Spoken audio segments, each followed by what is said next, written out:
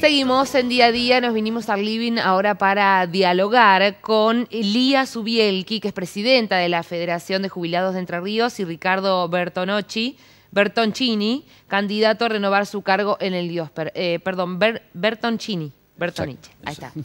Bueno, bienvenidos, gracias por venir. Gracias a vos por invitarnos. Bueno, por un lado, entonces tenemos eh, la elección de su cargo como presidenta, que si bien ya viene desde el año pasado, renueva ahora y propone nuevas actividades también. Así es, eh, a partir de mayo, una nueva asamblea ha sido este, propuesta por, el centro de, de Crespo para un nuevo periodo de dos años a cargo de la presidencia. Así que bueno, este, y ahora en este caso, bueno, queríamos anunciar la incorporación de un nuevo taller y un nuevo servicio. El taller es de estimulación cognitiva, que empieza a partir de este jueves en, nuestra, en la sede de nuestra federación, calle Belgrano 127, a donde ahí tienen que dirigirse para inscribirse porque el cupo es limitado, nada más que 10 personas. Ah, ajá. Sí, ¿Quién lo, brinda el taller? mira, eh, fue una sugerencia de la caja de jubilaciones, o sea, lo hacemos en conjunto con la caja de jubilaciones. El doctor Elías le pareció, le pareció este, muy apropiado, digamos, para nuestros adultos, así que bueno, sugirió si nosotros queríamos organizarlo, así que lo hacemos en forma conjunta con la caja de jubilaciones. Es a cargo de dos licenciadas, que es Florencia Méndez y Miriam Martínez, se dictará durante tres meses los jueves a partir de las 4 de la tarde. Este, bueno, mm, se dice que a nuestra edad el cerebro tiene que tener nuevas actividades, nuevos claro, estímulos. Ser estimulado. Claro, sí, para que el cerebro no se acostumbre, digamos, porque bueno, siempre uno hace tareas un poco mecánicas o bueno, entonces este, lo aconsejable es hacer actividades nuevas que nunca hayamos hecho, este, para que, bueno, para poner en funcionamiento nuestras neuronas y para que el cerebro esté activo, que es la idea, la idea para nuestros adultos, ¿no es cierto? Ofrecerles tareas, y talleres y, actividades que, bueno, que sean, aparte de socializar, porque es uno de los objetivos de, de, nuestro, de nuestro taller, es también, bueno, brindarles, ya te digo, nuevas actividades. Bueno, este taller la verdad que nos gustó, los otros días hicimos una muestra del taller, de lo que va a ser, a gente le gustó mucho. Así que bueno, están abiertas las inscripciones. Qué bueno, entonces para el jueves a las 4 de la tarde se va a dictar, pero el que se quiere inscribir ya puede llamar, acercarse hasta Belgrano. tiene un costo nada más que de 100 pesos, porque bueno, este, por, por algunas cosas que hay que comprar, bueno, este, el del resto, digamos, se hace cargo la caja, ¿no es cierto? Del costo del resto. Seguro. Así que, bueno, y otro servicio que también este, queríamos eh, informar, ya lo estamos haciendo a través de Facebook, es el, este, una, licenciada en nutrición, que comienza eh, a atender a partir de la semana que viene. Ella va a atender los miércoles por la mañana. Bueno, hay que dirigirse a la federación para pedir turno. ¿Cuál es el, beneficio de que la federación tenga una nutricionista? bueno, porque también la alimentación es muy importante en nuestros adultos. Eh, no es solamente estar en estado, digamos, sino bueno, este, la nutricionista aconseja eh, cómo, cómo alimentarse, porque bueno, eh, también es un problema en los adultos la alimentación.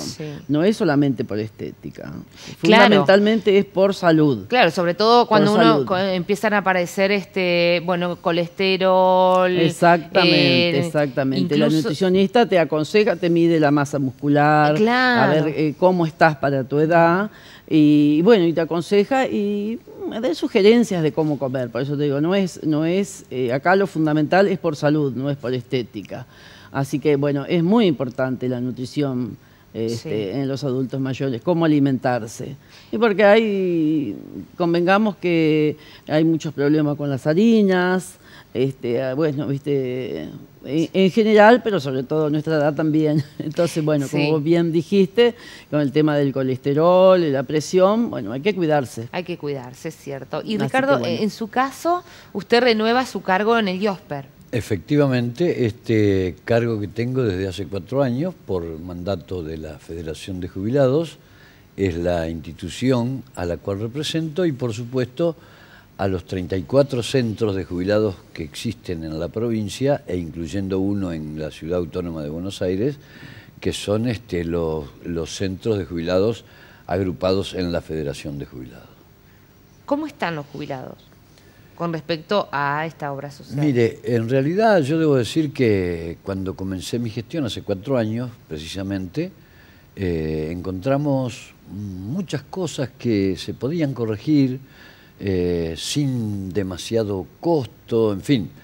Y también eh, maneras de, de optimizar el uso de los recursos para que cada vez más recursos lleguen en forma de prestaciones, porque verdaderamente lo importante en esto no son las prestaciones, es decir, los servicios médicos, las prácticas eh, que tienen que ver directamente con la salud, elementos, este, en fin, todo lo que hace al funcionamiento de, esta, de la obra social, que es nuestra obra social, especialmente de los jubilados que seguramente tienen más de 30 años de aportes a la obra social y seguramente también en su época de juventud, eh, a lo largo de su vida activa, eh, muchos mm, tal vez no lo requirieron, pero cuando llega esta etapa de la vida, que por una cuestión natural es cuando más empezamos a necesitar, bueno, que estén esos recursos para que los jubilados puedan este, tener las prestaciones que corresponden.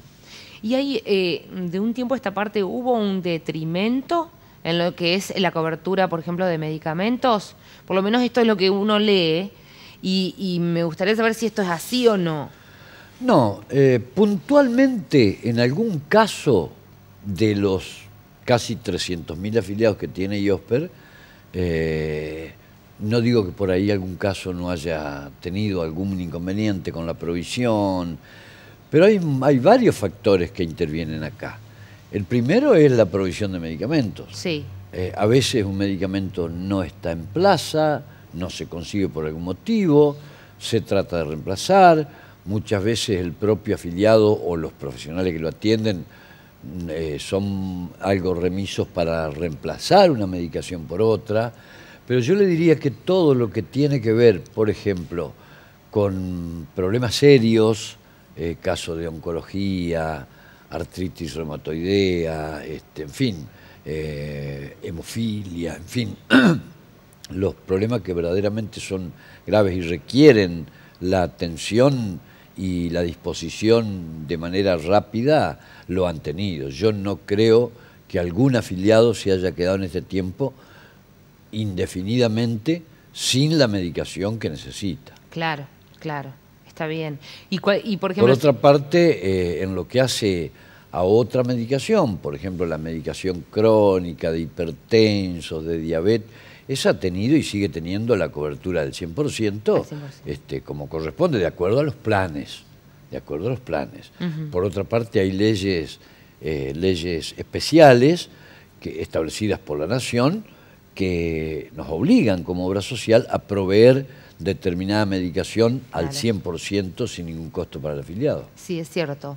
¿Y con la atención, cómo estamos acá en Paraná, la ciudad? Mire, la atención, eh, yo no sé si usted se refiere eh, concretamente a los prestadores. A nosocomio, más que nada, a los nosocomios. No, eh, no hemos tenido corte de servicio, por suerte en todo este tiempo que llevamos al frente de la conducción de IOSPER, no ha surgido ningún inconveniente, digamos, de importancia que haya, que haya ocasionado, como ha pasado en otras épocas, el corte de un servicio sanatorial, ese tipo de cosas. No hemos tenido, tenemos muy buena relación, buen diálogo, no solo con, en la parte de lo que hace a internación, clínicas y sanatorios, sino también en general a todos los prestadores. Eh, por suerte, eh, se ha manejado esto de una manera muy equilibrada. Eh, pueden surgir, reitero, como dije hoy, algún caso puntual por algún motivo especial que se trata y bueno, y se trata de resolver de la manera que corresponde. ¿Y ahí en, el Hospital La Baxada también se atienden? Sí, ahora eh, tenemos precisamente la atención de un neurólogo que como es sabido, acá en Paraná no tenemos el servicio de neurología y neurocirugía desde antes de comenzar nuestra gestión. Sí, sí. Eh, bueno, por distintas razones los prestadores decidieron no, no prestar más servicio a IOSPER. De igual modo, las urgencias están absolutamente garantizadas. Eh, es decir, urgencia me refiero a que una persona, esto no es solo para los jubilados, ¿no? Para cualquier afiliado. Supongamos tiene la mala suerte de tener una CB, algo de urgencia, eso va al sanatorio y recibe la atención de urgencia que corresponde, incluyendo el, servicio de neurología o neurocirugía o lo que corresponda. Claro. También se da para los casos de prótesis. Las cirugías que requieren prótesis habitualmente tienen un tiempo de espera que tratamos de hacerlo lo más breve posible. Sí. En los casos de urgencia, y cuando digo urgencia me refiero eh, una persona mayor, especialmente se da en estos casos, tiene un pequeño accidente en su casa, se cae, se fractura, eso va y se hace atender y se provee la prótesis en el momento, eso es una urgencia. Y eso lo tienen absolutamente Cuando no es planificado, cuando hay un evento extra que sí o sí hay que resolverlo en el momento. Exacto. Se lo cubre, digamos, se lo atiende. No quiere decir que, ah, no, bueno, no pasa, no, no te atendemos. No, no, no. Claro, está no bien. No sucede eso. Bueno, eh, las urgencias se atienden como es debido en todos los casos.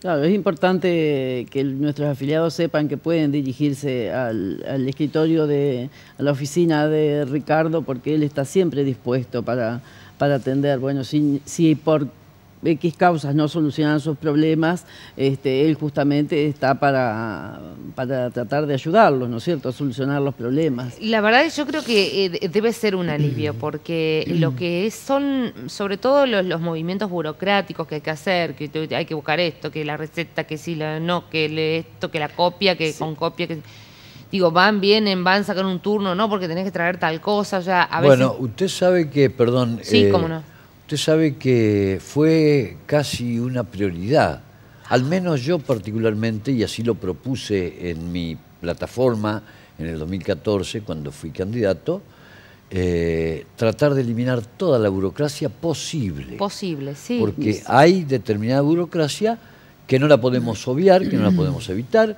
los controles en la parte de, contabilidad, claro, hay que ajustarse a leyes. aparte de, burocracia, digamos, digamos que, que tiene todo un camino que recorrer, digamos, el, el, Exacto. el tratamiento. Lo que tratamos es de, quitar todo lo que todo lo que lo que posiblemente se podía quitar. Por ejemplo, por decir, los enfermos crónicos que tienen medicación crónica, que tenían que ir ambulatoria, tenían que ir todos los meses a que el profesional le renueve su receta, llevarla al diósper y con eso tenía planes especiales, algunos el 70%, otros el 80%, otros el 100%.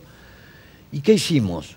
Un recetario que lo otorga IOSPER con el pedido médico, por supuesto, por seis meses. Ah, Entonces le vienen las seis recetas y tiene para ir los seis meses la provisión de medicamentos. Un, muy, un paso enorme, porque parece que no pero vos te, ahorras de ir seis veces a hacer cola al lugar, a tomar frío, cansado. Sí, convengamos que muchas veces el jubilado a lo mejor no está en condiciones de ir todos los meses. Y aparte, digamos, o no tiene quien, quien se lo haga, ¿viste? Y no es fácil. Eh, también hay, hay una realidad. Uno, que, que quizá trabajó en eso y estuvo le cuesta entender todos los pasos que hay que seguir. Imagino eh, una persona que está como tratando de arreglarle sus problemas de salud y encima, la verdad que es una muy buena noticia. Ahora debemos, debemos también aclarar que uno no puede alegremente recetar medicamentos para un enfermo. Que, por eso es, que cada seis meses el afiliado tiene que venir con el certificado de su médico, que es el que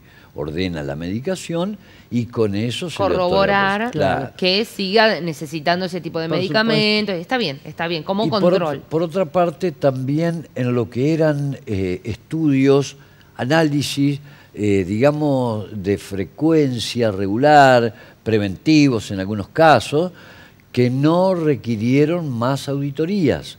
Usted sabe que, por ejemplo, una mujer que tenía que hacerse un, un este, Papa Nicolau por control, como se manda. Que se hace todos los años. Claro, exactamente. Bueno, ese ya no requiere auditoría ah, especial. El médico que lo trata al paciente le da el pedido y con ese pedido va directamente al, al, prestador donde se va a hacer el estudio y no tiene que ir a autorizar por auditoría. Me parece excelente. Lógicamente, cuando hablamos de prestaciones de mayor complejidad, entonces sí, la auditoría médica es fundamental. Sí, claro, por supuesto. Pero- Pero, cosas así que son inevitables, que uno los tiene que hacer, está muy bien que, que se genere como algo más, este, este, que circule Más más, ágil, fácil, más claro, ágil. Gracias. Desburocratizar. Bueno, eso, eso. Ricardo Liz, eh, Bueno. Lía, un placer tenerlos. No, Muchas contrario. gracias. Bueno, eh, antes de terminar te quiero Sí. aclarar que las elecciones para, para el IOSPER son, este, se llevan a llevar a cabo el 5 de julio. 5 de julio. El 5 de julio. Bien. Así que ahí, bueno, todos los afiliados tienen que...